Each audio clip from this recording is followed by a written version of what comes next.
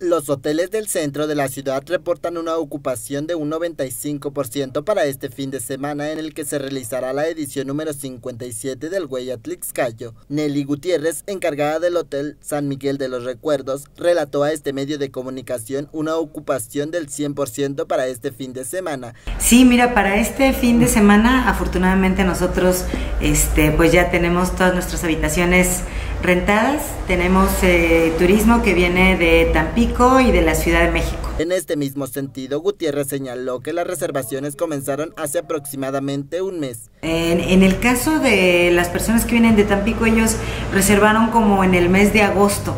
Ajá, son las personas que este, eh, empezaron a, a, llamar sobre la, este, la fiesta de la Tliscada, cuando se iba a llevar a cabo. Y bueno, pues este, las personas de México un poquito después, pero más o menos fue hace un mes, un poquito, mes, mes y medio. De igual manera refirió que estos eventos ayudarán a seguir reactivando al sector turístico que fue muy golpeado en la pandemia de COVID-19. La verdad creo que el sector turístico, eh, entre otros, ¿no? También como el de entretenimiento, creo que han sido los que se han visto más afectados con el tema de pandemia y eh, en esta ocasión, pues bueno, empezamos a recuperarnos ya desde el 15 de septiembre, desde el fin de semana pasado. Este, y sí, e, efectivamente, como bien lo dices, la derrama económica importante para nuestro municipio, porque pues si tienes mayores ventas, si tienes afluencias, si hay, eh, necesitas contratar más gente, eh, esa gente este, también beneficia a sus familias, necesitas más insumos y nosotros eh, tratamos que los insumos sean de manera local, nuestros proveedores, y entonces que sea una cadena de valor que beneficie a todo, el, a todo el municipio, a la gente que podamos beneficiar. En este mismo contexto, los hoteles que se sitúan a unas calles del centro reportan un 70% de ocupación. Así lo relató Carla Carmona, encargada del Hotel Xochicatzin. El porcentaje, el fin, de, el fin de semana, que es viernes, sábado y domingo, sí aumenta un poco. Entre semana está muy tranquilo, estará como al 30-40% y entre semana pues sí al 70, al 80, este, ya que la verdad al 100 no, pero sí hemos tenido mucho flujo de gente. Desde las vacaciones de verano no hemos parado.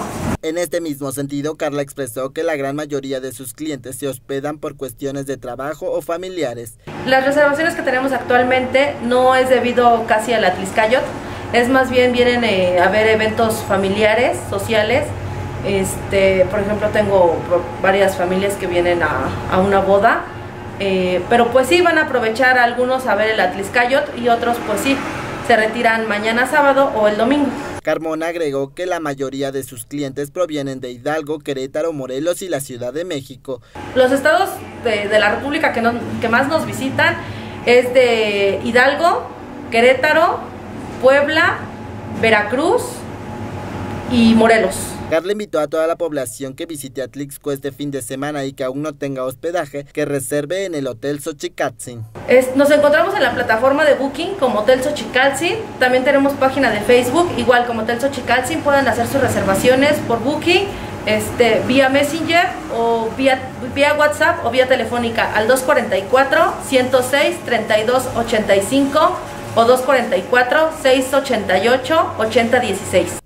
Finalmente, ambas coincidieron que la temporada de diciembre será una de las más fuertes del año, pues ambas ya cuentan con reservaciones para esas fechas. Sí, de hecho tenemos ya algunas reservaciones para octubre, tenemos también algunas ya, de hecho tenemos dos fechas llenas para diciembre, vienen unas excursiones, una es de San Luis, la otra la verdad no recuerdo, pero ya está este, el hotel lleno para algunas fechas en diciembre. Eh, sí, en nuestro caso afortunadamente ya tenemos reservaciones para este evento de la Vía Iluminada para el mes de diciembre, ya hay, ya hay reservaciones. Reportó para STV Atlixco Puebla, Rigoberto Santos.